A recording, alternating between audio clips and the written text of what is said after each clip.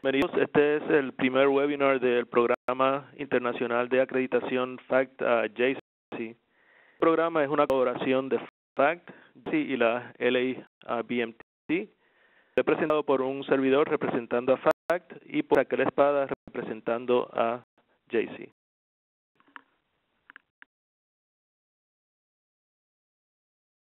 Este consiste en una presentación de 60 minutos seguida de una sesión de preguntas y respuestas. Para evitar dificultades técnicas, este webinar se conecta a través del audio de su equipo. Si tiene preguntas durante la sesión, puede escribirlas en cualquier momento en el menú que aparece a la derecha eh, bajo Q y A en el lado derecho de su pantalla. Serán contestadas al final de la presentación para aquellos que no puedan estar presentes durante la presentación en directo. Yo discutiré instrucción, trasfondo y aspectos generales de acreditación uh, FACT y JC y una breve descripción de los estándares, mientras que la espada va a discutir la certificación en pasos y programas educativos.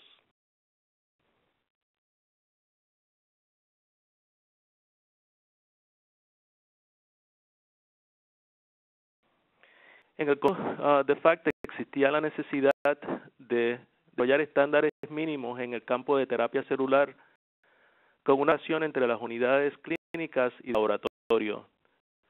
Fue por médicos y científicos de laboratorio formaron FACT en 1996.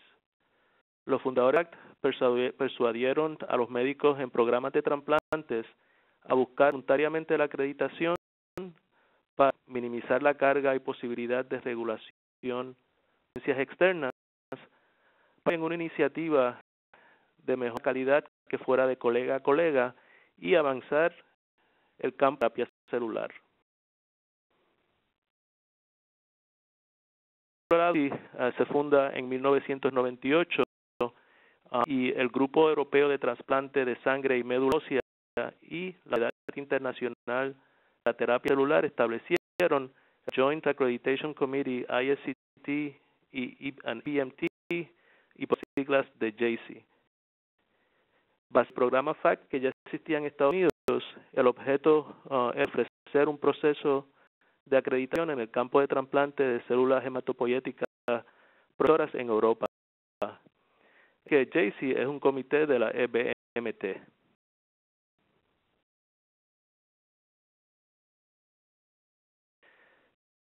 el Task Force fue establecido a principios de 2015 y es una oración de FACT, JESI y de la ISCT, una meta de unir fuerzas para el desarrollo de programas de certificación y acreditación en regiones del mundo con recursos limitados.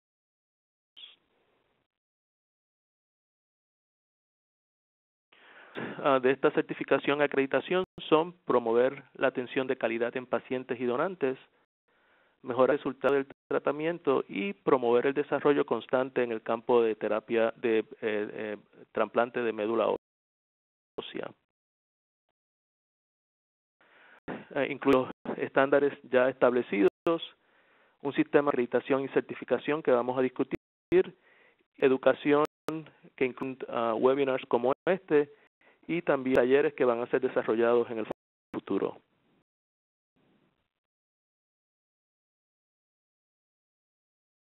Generales de la acreditación FACT JC están basados en certificación por pasos. De forma que los estándares eh, actuales de FACT JC dividido en tres pasos.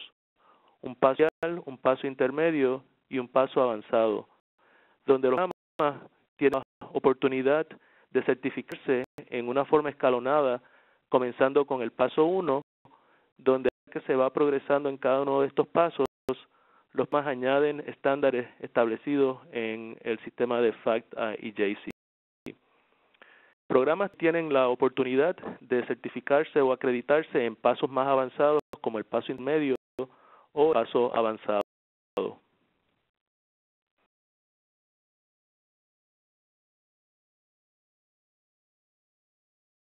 El certificación sería de dos años. Los programas se pueden quedar en el mismo paso durante dos ciclos sin embargo, están obligados a someterse a otra inspección en el mismo paso. Una vez los más cumplen con los tres pasos, FACT-J concederá, concederá la acreditación mal o completa y la acción FACT-J internacional sería válida por tres años.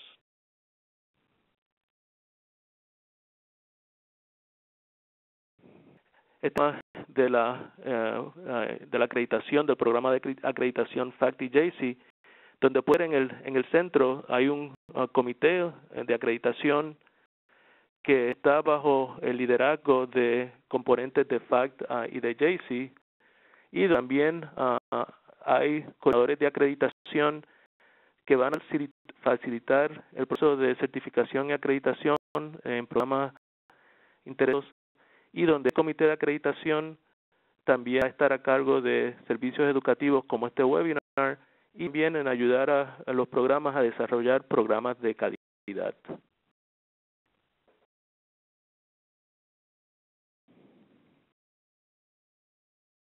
El comité de acción va a asistir de miembros eh, representativos de FACT y de JC y bien de uh, un miembro de la LABMT donde eh, los aspectos, los diferentes aspectos de programas de trasplante van a estar presentados tanto clínica de adultos y pediátricos uh, y uh, procesamiento. Como van a haber coordinadores de acreditación que van a facilitar el progreso, el, la, uh, la acreditación o el proceso de certificación en cada uno de los programas.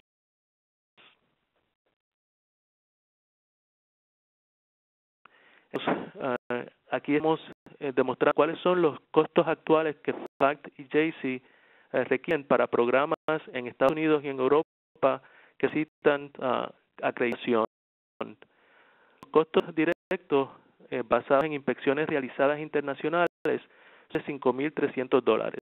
En otras palabras, si FACT o JC requiere o, o, o necesita hacer una inspección o una acreditación en afuera de Estados Unidos o Europa, serían los costos directos para viaje y estadía de los eh, inspectores que harían a esas regiones.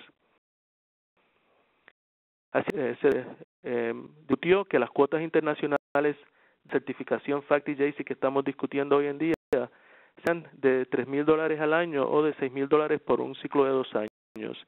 Y esto incluiría un estimado de 5 mil ah, dólares en costos de, y estadía de los uh, auditores que de Europa y Estados Unidos a América Latina una cuota administrativa de mil dólares. Estas tarifas serían basadas en centros que aplican para la certificación de las tres unidades, incluyendo clínica, obtención y procesamiento, teniendo la participación de tres inspectores.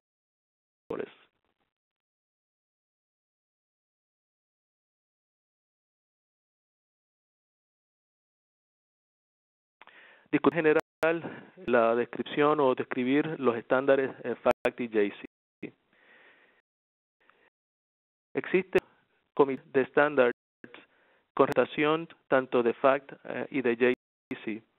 Y estos, eh, este comité está dividido en subcomités, colección, procesamiento y áreas clínicas, donde los miembros de este comité revisan los estándares y cada año editan una edición nueva de los eh, estándares con, eh, con aspectos actualizados de, de, estos estándares. Así es que es un, un proceso bastante riguroso donde, donde se tiene informa, se obtiene información de expertos tanto en el área clínica, de procesamiento como de colección.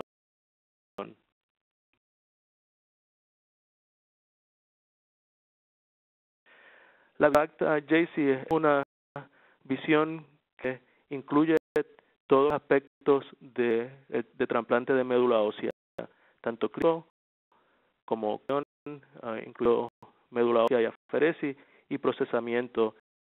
Y si la visión es de algo que o de un proceso que está sobre una sombrilla, no una visión clásica donde cada uno de los aspectos de trasplante de médula ósea se ven eh, de, o se analizan de formas separadas.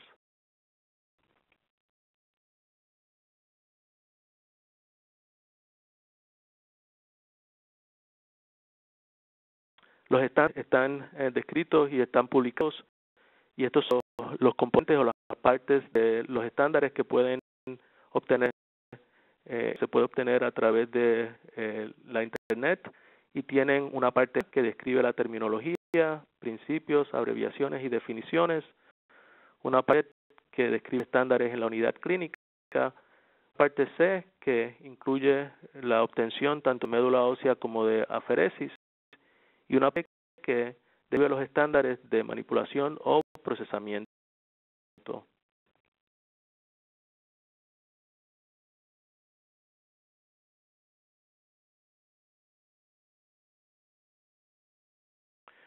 estándares están en, en cuatro uh, sesiones y como pueden ver y descrito por los colores, hay áreas que son comunes a cada una de estos componentes de áreas de trasplante eh, y, lo, y, los hemos agrupado en esta diapositiva por colores.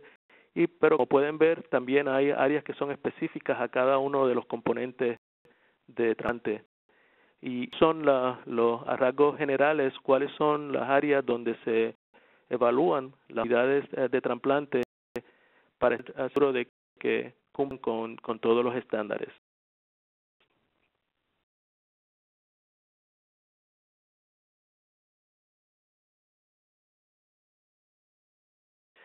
Y cada una de estas áreas de trasplante de médula ósea no se han evaluado con un efecto de silo, ¿no? que sean todas integrados y que haya uh, comunicación e integración entre cada uno de los componentes de, de, de la, de, el proceso de trasplante de médula ósea. Es que se interacción o se, eh, se requiere una interacción de tanto área clínica de obtención, manipulación y áreas de donante, donde es importante que la calidad y comunicación eh, incluya interacciones en cada una de estas áreas.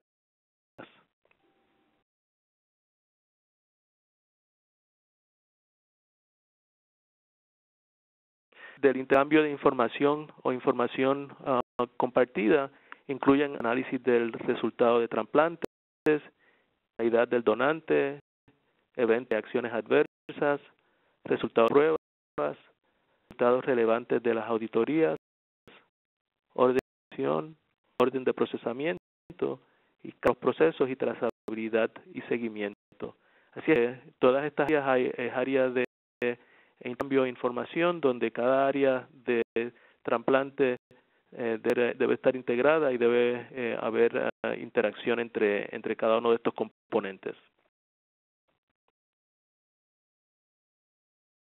Hay elementos como definimos ¿no? en cada uno de, los, de las áreas, incluyendo instalaciones, y aliados, calidad, y procedimientos. Así es que tanto en el área de recolección como en el área de procesamiento como en el área clínica van a haber eh, áreas que se eh, deben evaluar que tienen eh, cada componente de, instalación, equipos, etcétera, como descritos en esta diapositiva.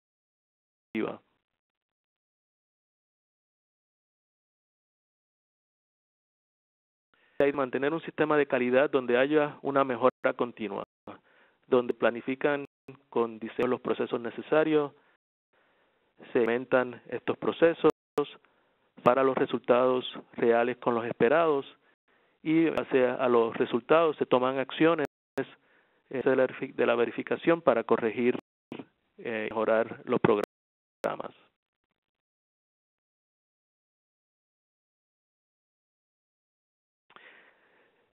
o el proceso uh, de flexibilidad, de forma de hay varias maneras de cumplir con estos estándares. Son mayoritariamente no prescriptivos, pero a medida que vayan leyendo los estándares, es importante que se defina la diferencia o que los programas entiendan la diferencia entre shall, que es un requerimiento, y should, que es solamente una sugerencia. Y el proceso permite cierta flexibilidad, o sea que no hay necesariamente una sola forma de cumplir con estos estándares eh, y FACT y JCC permite flexibilidad en cómo se cumplen con cada uno de, de, estos estándares.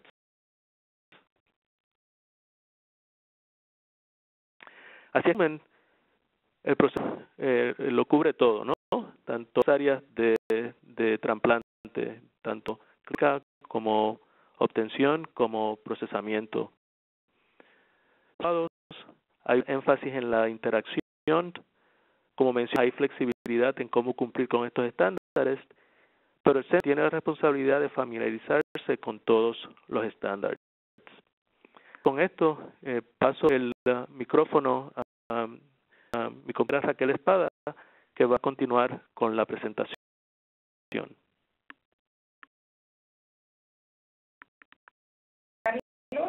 Buenas a todos. Soy Raquel Espada Martín, coordinadora de acreditaciones de JC y trabajo en la sede de BMT aquí en Barcelona, en España. Y os voy a explicar el proceso de certificación paso por paso. Que la mayoría de participantes en esta sesión estáis interesados en el proceso de certificación para vuestro centro e incluso podéis estar interesados en ser inspectores, así que mostrar el proceso desde los dos puntos de, de vista.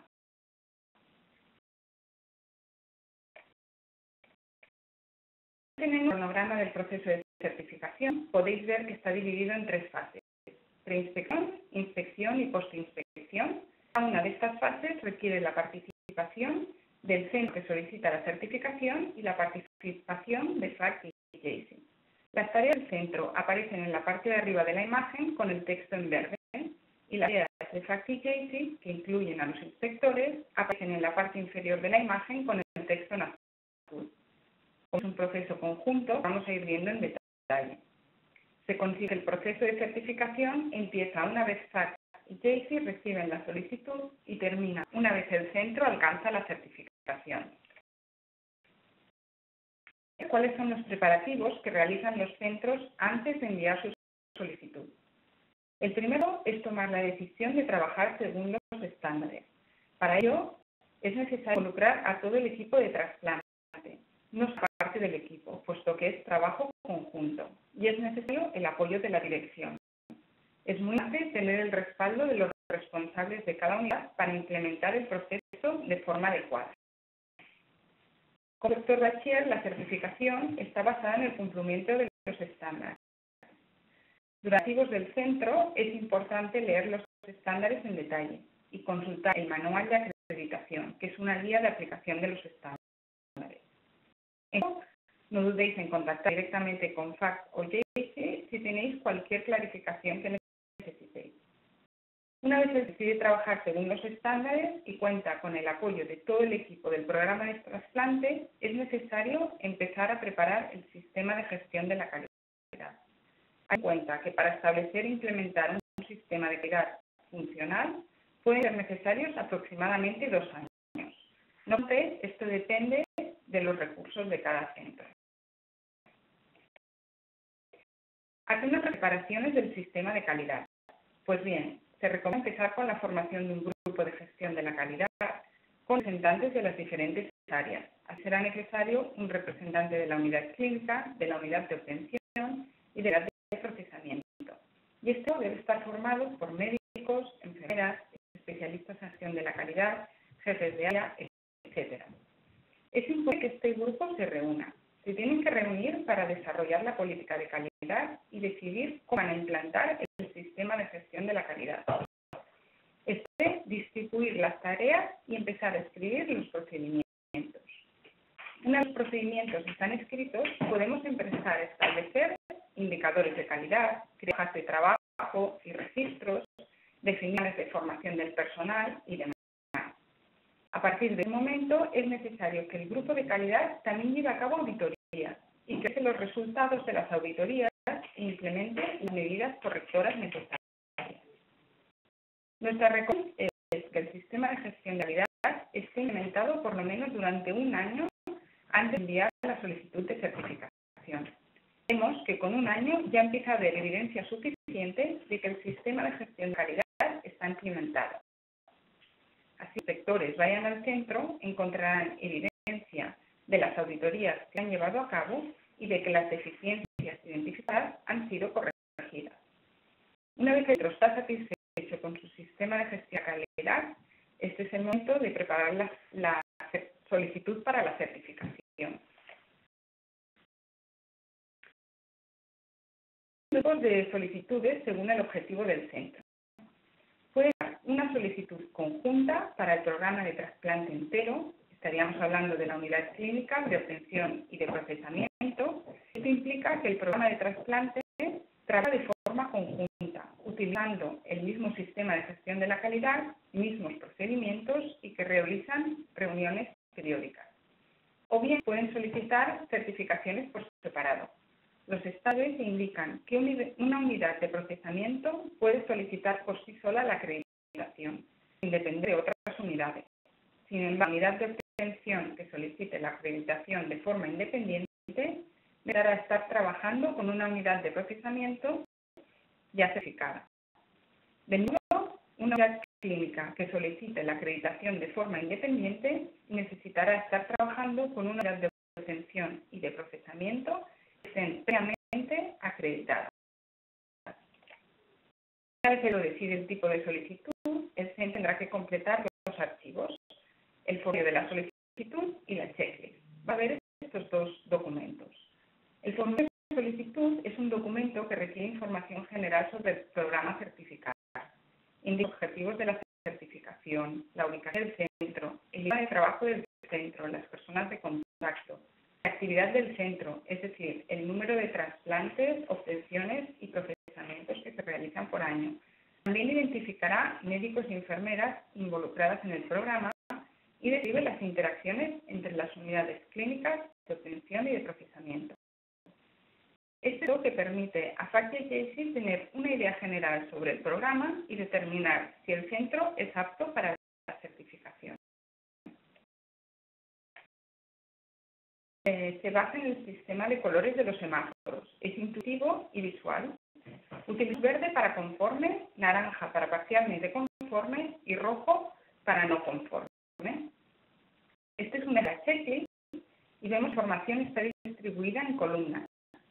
Las dos columnas hacen referencia al estándar y el número de referencia y el texto en sí del estándar. Las siguientes columnas deben ser completadas por el centro y es una autoevaluación. En estas columnas el centro tendrá que indicar si cada uno de los estándares es conforme, no conforme, parcialmente conforme o no aplicable. Y en la columna de al lado tendrá que indicar los comentarios y detallar las evidencias documentales que apoyan su valoración. Es muy útil para todos los centros utilizar este checklist como una herramienta de autoevaluación les permite ver el grado de preparación en el que se encuentran para conseguir la. Cuando defina la checklist, esperamos que la gran mayoría de los estándares estén conformes. De lo que yo entenderemos que el centro aún no está listo para recibir la visita de los inspectores. Checklist nos permite mantener la trazabilidad del progreso del centro a lo largo del proceso de certificación. Porque la checklist será la checklist que utilizarán los inspectores para introducir sus valoraciones del programa. Los inspectores tienen las dos columnas adicionales donde realizarán un ejercicio similar al de los centros e indican cuál es su valoración sobre cada uno de los estándares, conforme, parcialmente conforme o no aplicable. Y también facilitarán comentarios basados en hechos y evidencias para probar su valoración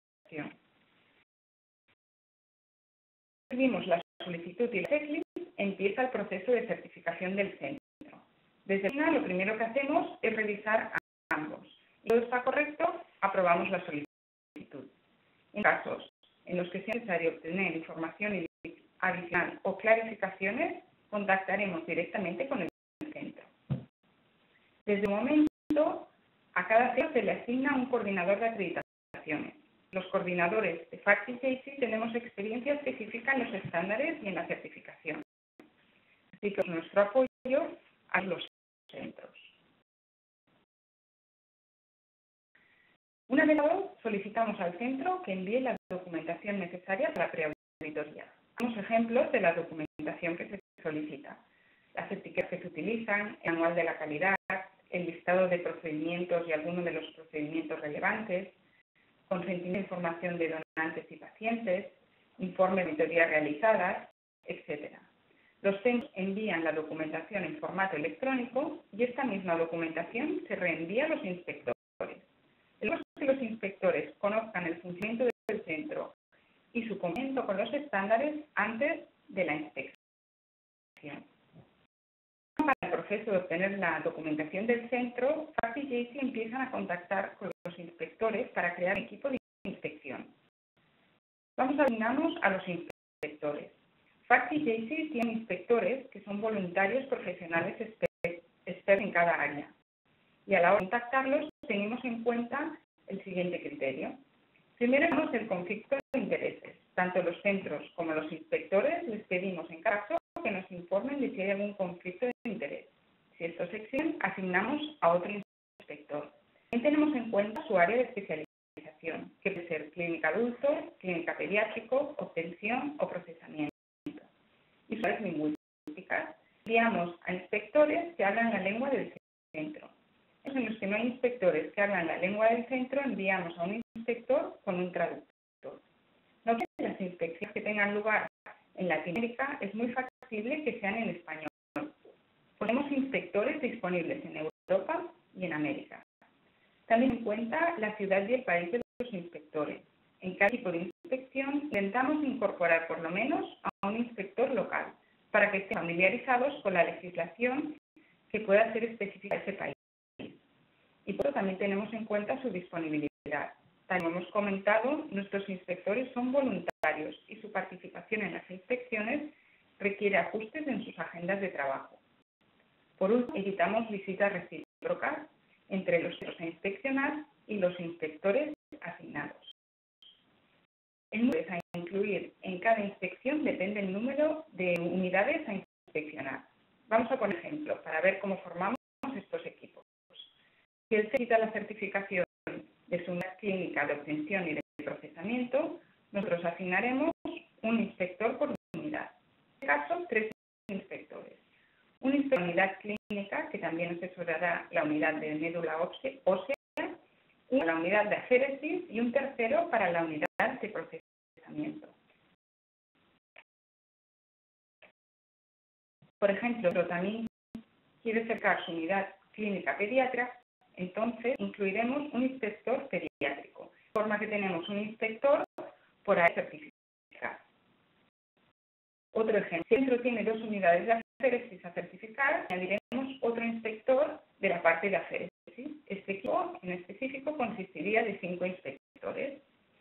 En cada inspectores, uno de ellos, generalmente el que tiene más experiencia, también desempeña el papel de jefe El jefe de equipo actúa como coordinador del grupo y tiene funciones específicas, como preparar agenda para el día de la inspección, actuar como interlocutor principal con el centro durante la inspección y facilitar una visión global del centro que se certifica. Una vez el inspector es listo y el centro nos ha enviado la documentación previa a la auditoría, el inspector jefe, con el consenso del equipo de inspectores, prepara agenda para la inspección. Esta envía al centro y les permite organizarse y asegurarse de que el personal necesario está disponible. Estos son los preparativos para la inspección, que como hemos visto se centra en la documentación, la formación del equipo de inspectores y la agenda para la inspección. Pasamos a la fase de inspección en sí. Generalmente en uno o dos días, dependiendo del tamaño del programa y del número de unidades. Durante la auditoría, la herramienta principal de los inspectores es la checklist, pues les permite de forma exhaustiva todos los aspectos del programa y también verificar que la información contenida en la misma checklist y la documentación de preauditoría corresponde con las prácticas llevadas a cabo por el programa. Consiste la inspección en sí. Es como una reunión de apertura donde se realiza una introducción del programa de trasplante, definiendo la actividad, roles de personas claves, servicios, relaciones entre las unidades y el sistema de calidad. También incluye la presentación del equipo de inspectores que confirman el alcance de la inspección y repasarán la agenda. Después, el equipo de inspección empezará con las tareas propias, que incluyen una visita a las diferentes unidades, entregas con el personal clave y revisión de la documentación. Por lo que los inspectores observan un proceso relevante al, e-, al área que están inspeccionando. Por ejemplo, el inspector de la unidad de asepsis observará durante la inspección el proceso de obtención de un paciente o un donante. En casos en los que no es posible observar un proceso, los inspectores generalmente solicitan un simulacro. Y le concluye con una reunión de clausura. En esta reunión, los inspectores comunican sus observaciones del programa de trasplante destacamentos más importantes y no se pronuncian sobre el resultado de la certificación, puesto que es responsabilidad del comité de acreditación. El objetivo de los inspectores es comunicar sus observaciones de forma que el centro no esté sorprendido cuando reciba el informe de la inspección. Los inspectores escriben el informe referente a la unidad que han inspeccionado y se lo, se lo envía al jefe del equipo y Casey. Como hemos anteriormente, en la checklist los inspectores incluyen su valoración de cada estándar y facilitan comentarios reflejando las evidencias obtenidas durante la inspección para apoyar su valoración. Aquellos estándares que se valoran como parcialmente conformes o conformes deben ir acompañados de una descripción detallada. Es importante recordar que todas las decisiones se van en informe. De no conformidad identificado en una unidad de obtención se refiere al estándar C5.1.11, liberación y liberación con excepciones. Los requieren que las unidades de obtención tengan un procedimiento que defina el criterio de liberación para procesar el producto. En este caso, el centro no tiene dicho procedimiento.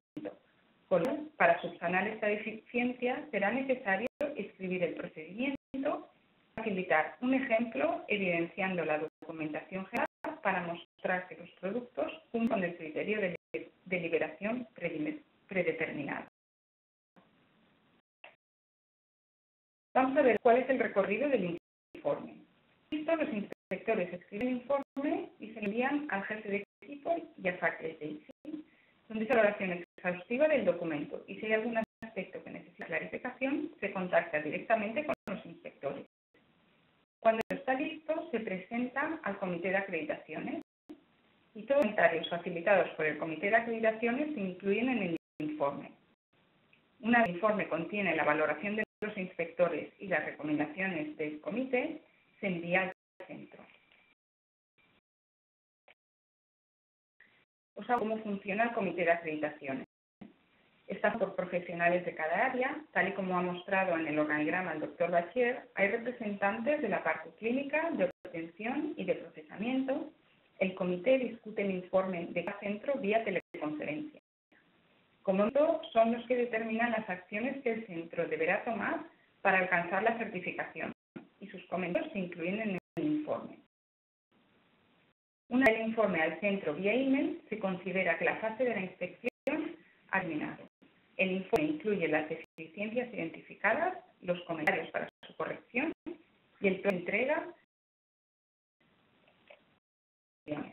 Vamos a ver qué ocurre en la fase de postinspección. Hasta ahora las tareas principales han estado relacionadas con la documentación de la preauditoría, la formación del equipo, la creación de la agenda y luego en la fase de inspección ha tenido lugar la inspección en sí, que consistía en el tour, las entrevistas y la revisión de la documentación. Se informe y el centro ha recibido con los comentarios del inspector y del comité. El centro ya ha recibido el informe de la inspección y en este diagrama vemos los resultados posibles de la inspección. La primera opción es poco probable, pero si un centro se inspecciona y todos los estándares están conformes, el centro se certifica directamente. Las opciones siguientes son las más comunes. El centro tiene deficiencias y quiere implementar medidas correctoras. En ocasiones, únicamente es necesario enviar documentación evidenciando las correcciones implementadas. Y en otros casos, además, es necesario realizar una reinspección. Como la mayoría de inspecciones muestran no conformidades, el tipo de no conformidades identificadas en la inspección es variable deficiencias leves, como por ejemplo que falten referencias a los procesos, a los procedimientos u otras deficiencias más graves, como pueden ser la existencia de zonas peligrosas de almacenamiento. De modo que cuando el centro recibe el informe, es necesario que empiecen a implementar medidas correctoras.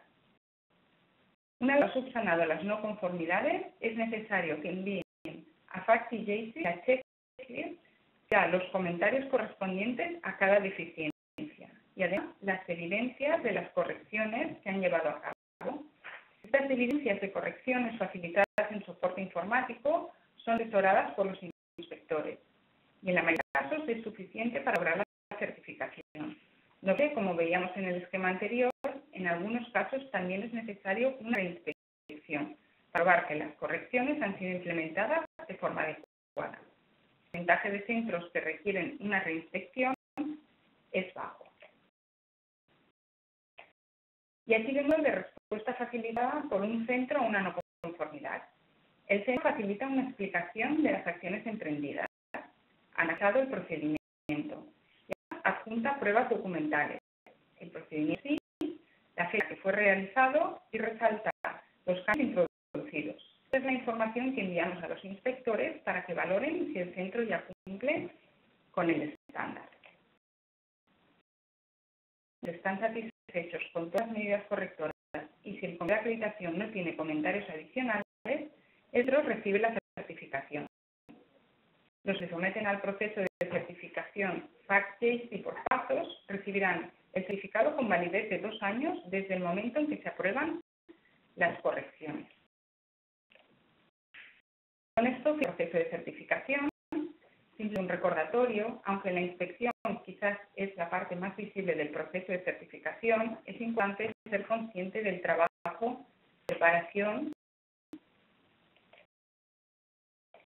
de guion eh, que hay que realizar antes de la inspección.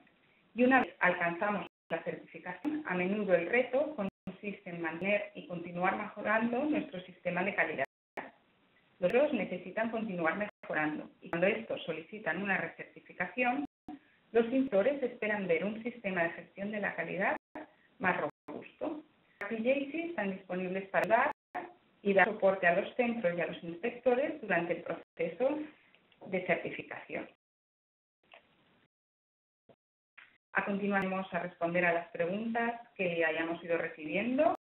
Tienes mucha información y cualquier duda que os surja nos la podéis hacer llegar ahora o contactarnos vía email. Aquí tenéis nuestros correos. Pregunta. El idioma de los documentos de la etapa de preinspección será en español. Eh, eh, todavía estamos en, en discusión. Eh, como se explicó, los inspectores van a, son, van a ser inspectores hispanoparlantes, o sea que la inspección va a ser en, en, en español. Y, estamos en, en discusiones de, de si se definirán algún documento que, se fuera a traducir, pero eso todavía no, no está finalizado en términos de la decisión, así es que eh, eh, de todas formas, la idea es de que la mayor parte del proceso sea en español eh, y se entiende que el proceso de traducción sería algo un poco más, ¿verdad? Traería más trabajo y, la idea sería de, de, limitar o de evitar que se hagan traducciones por el trabajo que requeriría de los centros.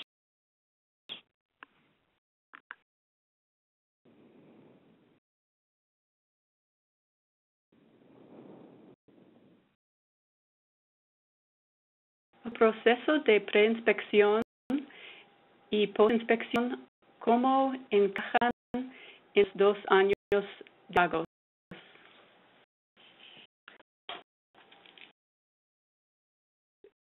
Alfas de inspección eh, se, serían de, eh, como se determinó, de tres mil dólares al año y, uh, y uh, el, la definición en términos de si el pago se haría eh, eh, como al principio o escalonado cada una vez al año todavía está en proceso de definirse.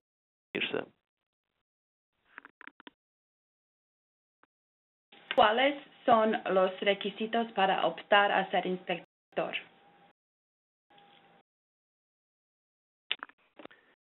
Sí, es buena pregunta y uno de los aspectos eh, importantes que sabemos eh, sería eh, importante que que vayamos trabajando como, como grupo es de, eh, identificar inspectores regionales en el área de, de Centro y Suramérica, eh, forma de que la idea sería de que eh, en un futuro se puedan entrenar estos inspectores.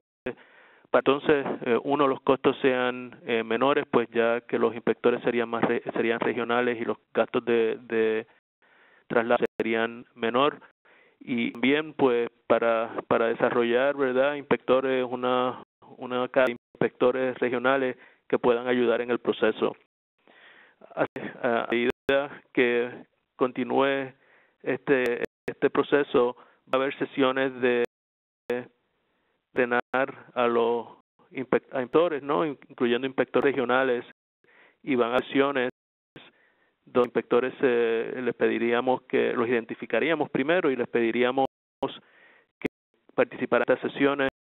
En el próximo congreso de la LABMT en Buenos Aires va a haber un taller de inspectores que eh, quisiéramos identificar inspectores regionales que pudieran que pudieran participar.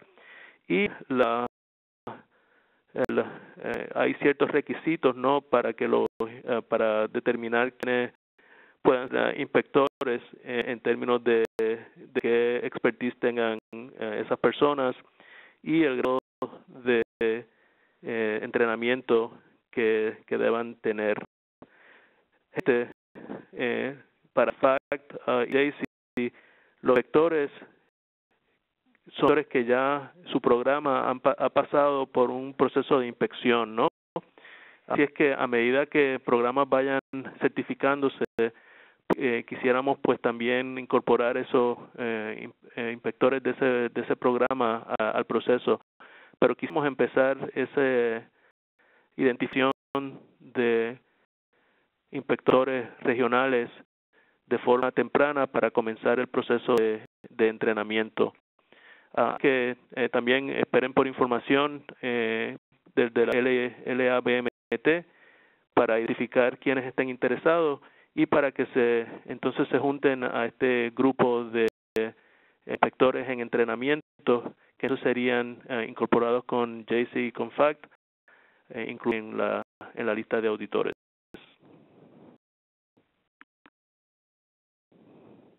utilidad por ser la primera y nos uh, gustaría poder tener estas presentaciones para poder hospitarlas al resto del equipo. ¿Ustedes uh, podrían mandarlas por mail a mi correo?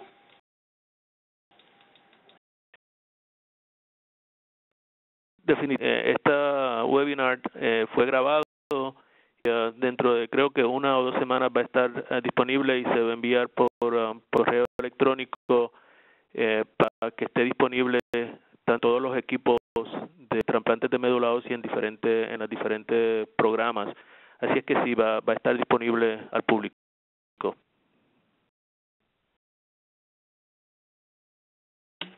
En un momento se realiza el pago.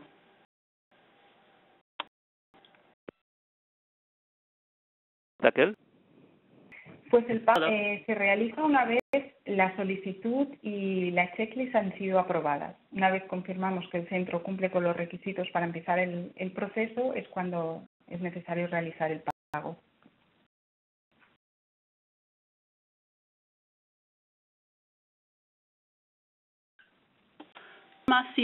que han mostrado la posibilidad de iniciar este proceso escalando el próximo año de evaluación previa al 2080 iniciar la inspección por ustedes.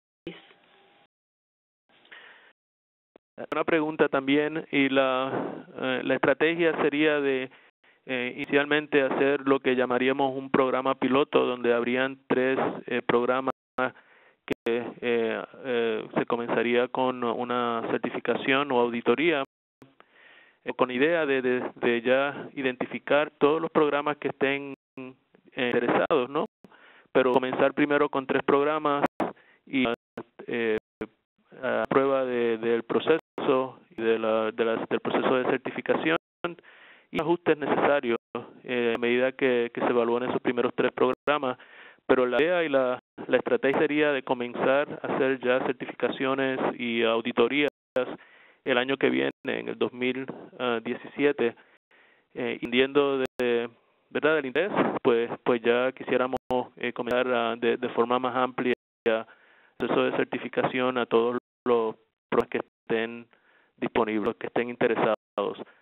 en resumen, pues eh, un programa piloto con los primeros eh, tres eh, programas, ajustes eh, después de valorar esos tres programas, y entonces ya continuar el, el, proceso de certificación y acreditación. y solamente como, como punto aparte, ¿no? Eh, FACT y los comienzos eh, eh, pasan bien o pasamos también por esta por, por, esta etapa no en la etapa inicial donde donde tienen los detalles eh, y pues en cada en cada área o en cada eh, cada región pues van a haber quizá algunos eh, algunas diferencias eh, y pues aprenderemos a la marcha no pero la idea sería de de nuevo de eh, comenzar con con tres programas y entonces expandirlo al resto del grupo son los requerimientos para participar en el taller del Buenos Aires.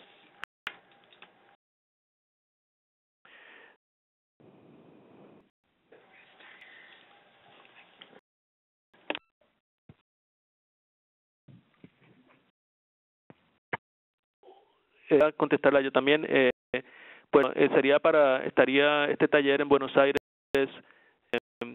abierto a uno todos los programas que estén que estén interesados en participar en el proceso no siempre aprende mucho no no por uh, al, al, ir a este a estos eh, talleres.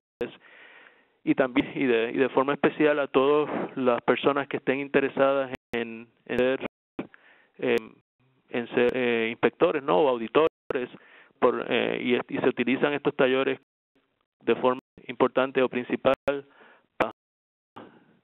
ese entrenamiento, ¿no? Eh, a los auditores que van a hacer la, las auditorías, ¿no? O sea que está es, abierto al, al, público, ¿no? Es parte de la eh, del Congreso y está eh, abierto a las personas que eh, a los programas que estén o, o eh, que estén en programas de trasplante que estén interesados en ser en participar en este proceso de certificación y editores que eh, que estén interesados en formar parte de del de, grupo de auditores. ¿Actitud uh, se envía todo el sistema de gestión de la calidad o solo un resumen? Raquel, ¿tú puedes contestarme yo?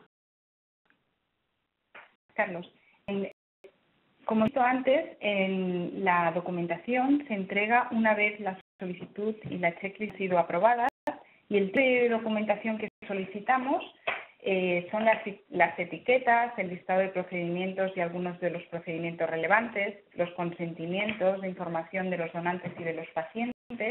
En referencia al manual de calidad, eh, requerimos el manual de calidad eh, entero, no, no un resumen.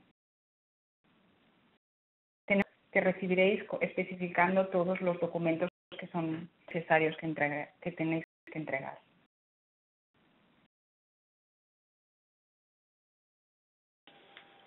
Calvo McKenna, estamos muy interesados en iniciar el proceso. Quisiéramos participar en los talleres en Buenos Aires. La, mientras más participación y más envolvimiento tengamos de, de todos los programas, me, mejor va a ser el, el proceso. Así es que todos están invitados.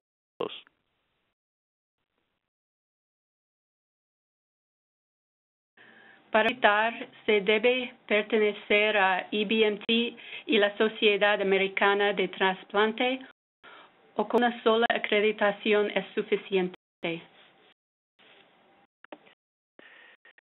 No se requiere de que sean miembros de, de ninguna de, de, de, de ninguna de las dos organizaciones cualquier eh, programa que esté interesado en ser certificado eh, tiene la, la oportunidad, ¿no? La, la opción de, de someter su, solicitud uh, y ser considerado. O sea que está abierto a todas, todos los programas interesados.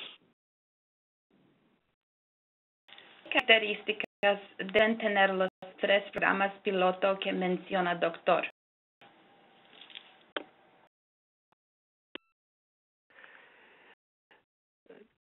el punto importante, no, o sea, la, la, idea sería de que todos los programas uh, interesados eh, existen eh, y, uh, y la idea eh, entonces de seleccionar eh, los programas eh, que, que estén interesados y la, la idea del piloto del programa piloto inicial sería de, de eh, desarrollar o de, de evaluar que tengan diferentes características, por ejemplo, eh, que incluyan que incluyan eh, programas que tengan eh, clínica eh, pediátrica o que incluyan programas con pediatría, incluir programas que este, que sean del, del sistema de salud versus privado y programas que que estén que tengan ya como mencionó Raquel por lo menos al, algún uh, que tenga sistema de calidad eh, un poco ya establecido aunque no estén muy muy desarrollados que por lo menos haya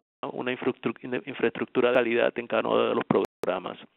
Pero la idea sería o el proceso eh, que estamos definiendo sería primero identificar todos los programas que estén interesados en, participar y entonces esos programas el, el grupo de Fact y JC uh, seleccionaría los primeros tres, pero la realidad es que esto es un continuo, ¿verdad? Eh, los, los tomaríamos todos los programas como un conjunto, pero empezaríamos con tres y tratar de, de seleccionar programas que demuestren o que, o que tengan, que, que sean representativos de todas las áreas de trasplante y de todos los aspectos, las posibilidades de, de trasplante en, en, en América, ¿no? Desde el punto de vista de eh, hospitales públicos, de hospitales privados, de, de, y que tengan obviamente representación de todas las áreas de trasplante.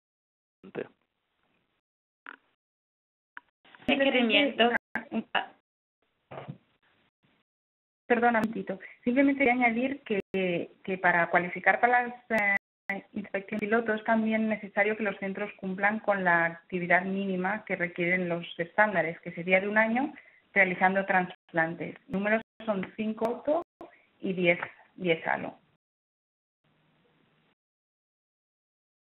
Importante y, y obviamente la eh, eh, es importante que pues, el proceso inicial sería de enviar la, la solicitud inicial, ¿no? Y esa solicitud inicial va a, a tener información que va a facilitar a FACT y venir si el programa eh, como requisitos, ¿verdad? Para, para ser eh, audi, auditados, ¿no? Eh, y, uh, y pues nada, eh, eh, de forma sugerimos de que sometan ¿verdad? información, pero como dije que eh, hay ciertos ciertos requisitos que están explicados en en solicitud, programas eh, que deben tener cierta, ciertos elementos para para ser uh, considerados para auditoría.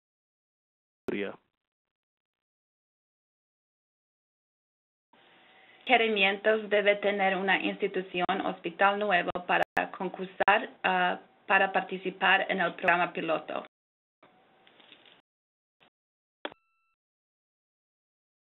De nuevo, ya cumplir con, uh, con, con requisitos que están eh, estipulados en, en, lo, en la solicitud, ¿no?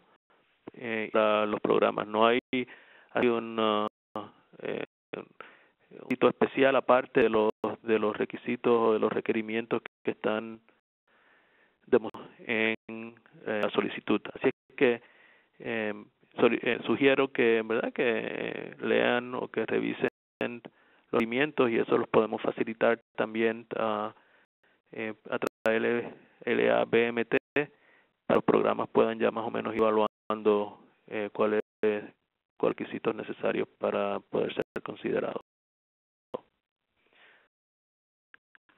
Nos forzar un poco el hecho de que los deben trabajar eh, más que para conseguir el certificado, eh, para conseguir una mejora de la calidad de, un, de, un, de su centro. Y esta es un poco la filosofía que queremos transmitir mediante la implantación de los estándares en los diferentes centros.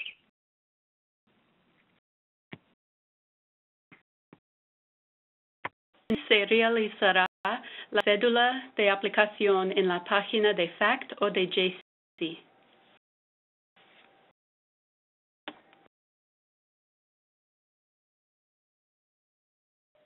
Los formularios, en principio, los haremos disponibles en las páginas web de, de las dos, de IFACT y de JACI, para que os los podáis descargar y podéis empezar a trabajar con ellos.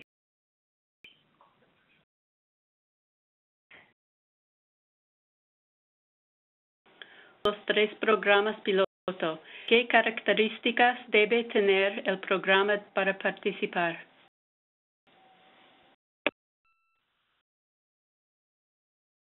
Eh, lo discutimos, ¿no? Contestamos esa pregunta. Eh, sería cumplir eh, los requerimientos que actualmente JFACT requieren para programas, ¿no? Y mejor forma de, de determinar si un programa tiene esos requisitos es, em, ir a la, la página de, de JFACT para evaluar esos requisitos y más o menos llenar la solicitud siempre siempre eh, tenemos disponibilidad de contestar preguntas y la mejor forma es eh, de comunicarse con nosotros, ¿no? Y nosotros podríamos facilitar, vamos a tener líneas eh, dispuestas y disponibles para algunos de los programas, pues piensan, bueno, ¿estaré yo preparado, no preparado, no los requisitos o no? están descritos en la, en la página de, de FactAcy, pero bien eh, tenemos eh, correos electrónicos, tenemos números de teléfonos y podemos contestar preguntas directamente si los programas tienen, dudas y preguntas para, para estar seguro de que, de que estemos.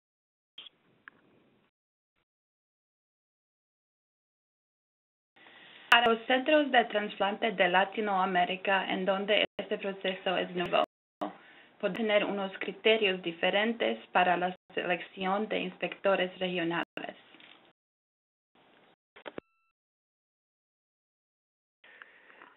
Pues los doctores se eh, seleccionan primero a, su, a, a, cuáles son los conocimientos de un inspector en particular. Por ejemplo, en el área clínica usualmente son eh, médicos eh, que están especializados en trasplante, que interés en, ser uh, inspectores, no o auditores. Y entonces ese, esa persona eh, entonces va por un proceso de entrenamiento de forma, no tienen que ser solamente médicos en el área de procesamiento o de obtención, ¿no? Si hay eh, personas que están envueltas y que tienen conocimientos en el área de procesamiento en el laboratorio y quieren eh, ser auditores uh, o inspectores en el área de procesamiento, pues de forma similar someten su información a FACTI JC y, uh, y entonces van por ese proceso de eh, entrenamiento. Y de la misma forma eh, personas que están envueltas en el área de obtención lo, lo similar en el área de obtención. O sea eh, dependiendo se seleccionan los auditores o los inspectores dependiendo del área de, de especialidad y a medida eh, en base a eso entonces van por un proceso de entrenamiento que incluyen talleres eh, y, y otras eh, formas de educación. También se pide que estos auditores o inspectores, antes de ser auditores, inspectores independientes, acompañen uh, y sean observadores, ¿no? O que observen un proceso de acreditación o certificación uh, para que, ¿verdad? Para que tengan esa experiencia y para que nos aprendan uh, ya con con, con programas que están acreditándose y pasen por todo el proceso antes de ser eh, certificados como, como auditores.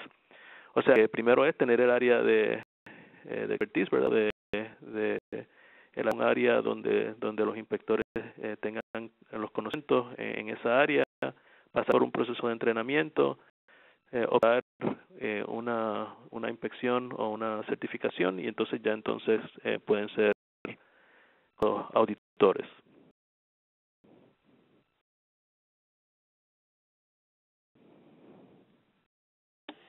De la unidad clínica acerca de los indicadores más relevantes para trabajar en ellos.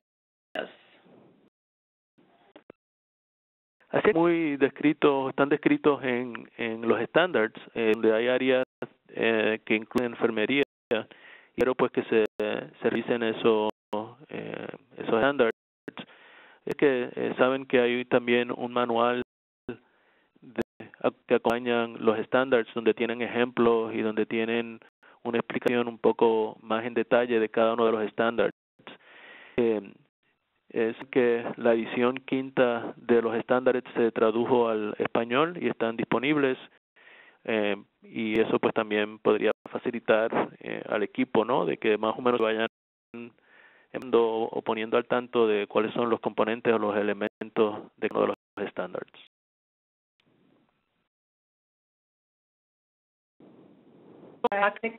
Anual de acreditación. El de, acreditación está en las páginas web de FACT y de JC, está en, inglés por eso. Lo que sí que tenemos en, en las dos páginas web es los estándares, la sexta edición en, en español. ¿De qué momento se inicia el periodo de dos años para cada ciclo?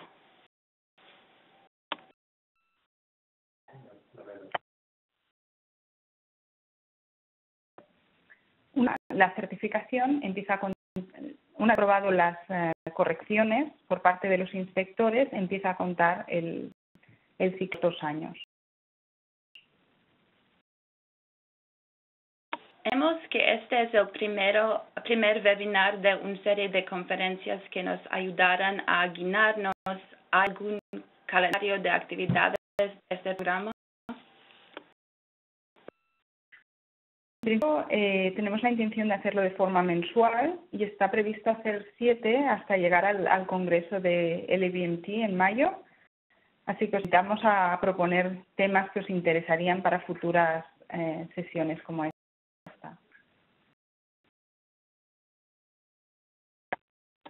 En base a los últimos estándares, existen algunos puntos que en Latinoamérica requieren adaptarse de la mejor manera con quién podemos asesorarnos para saber si estamos adaptando de una forma válida.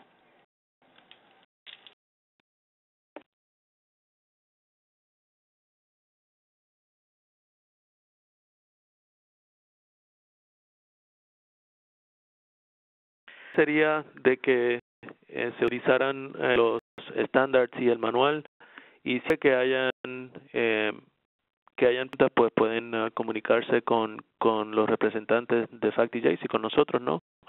Para aclarar eh, cualquier, cualquier duda. Yo pienso que también a medida que eh, vayamos eh, pasando por cada uno de estos webinars se van a aclarar algunas de las preguntas que quizá eh, los centros tengan en, en específico de, lo, de cada uno de los estándares. Pero vamos a estar también disponibles para, para contestar preguntas. La sería de, de, de eh, mantener eh, el mismo sistema que existe en, en y en FACT, los estándares van a ser los mismos. Simplemente eh, va, a, va a pasarse por un proceso de, de etapas, ¿no? Por pasos, donde el, el primer paso, el paso inicial va a ser una, una, una etapa eh, relativamente más sencilla, ¿verdad? Donde ya los estándares van van a ser van a tener un poco más de complejidad a medida que vaya pasándose de la etapa 1 a la etapa 2 a la acreditación completa. Uh, así es que, pero dentro de cada uno de los estándares, la idea sería de que se mantuviera, ¿verdad?, el rigor de, de estar seguro de que, los más con, con cada uno de los estándares de la misma forma que se cumplen en, en JC y en FACT. También es si podéis trabajar en, red, hacer networking con todo, empezando por ABMT, para poder intercambiar experiencias, tanto las cosas que os funcionan en vuestro centro y cómo las habéis adaptado para cumplir con los estándares, como más en los que estáis eh, actualmente trabajando, para que podáis intercambiar eh, experiencias.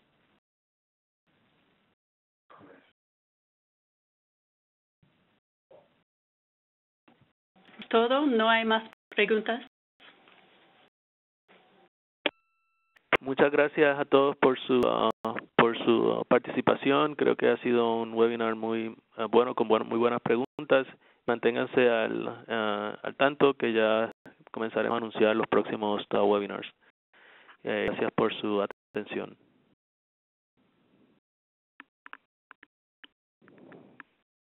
Vuestra participación, comentaros que tal y como ha dicho el doctor Bachier, tenemos el próximo el evento formativo en Buenos Aires, Buenos Aires que será el Congreso de EMT y sería una ocasión para conocernos en, en persona. Y aquí también tenemos una, un link para una encuesta porque vuestra opinión nos es de gran ayuda, así que os agradeceríamos si la pudieseis rellenar.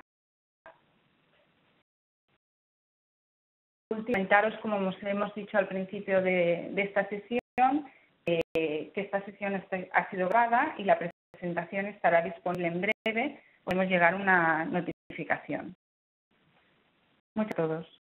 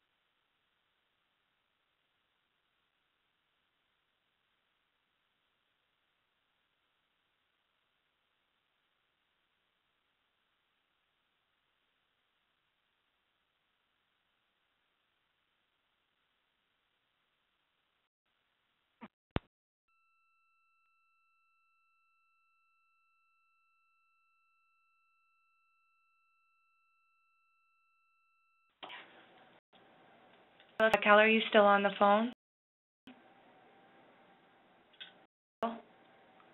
Hello?